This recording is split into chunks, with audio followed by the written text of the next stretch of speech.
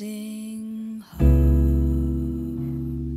I was born and grew up in Ulaanbaatar, Mongolia.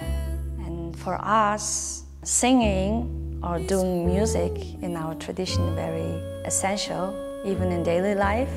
I can remember those moments me and my family was inviting guests and they were in our yurt and we were singing together. It's really like tradition to us. If we celebrate, we have to sing. Before I was becoming a professional jazz singer, I used to do a lot of folk music and then came jazz to my life and I also found the same way of being natural and of being yourself and to performing or giving your true voice and music.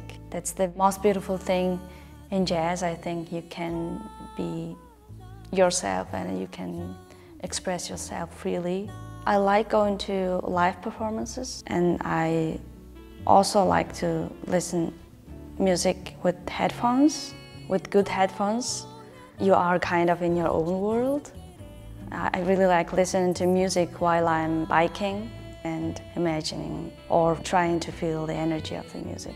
Being true to sound for me means that you let the music come to you and just open your heart without overthinking and sharing your true voice and true mind and true sound.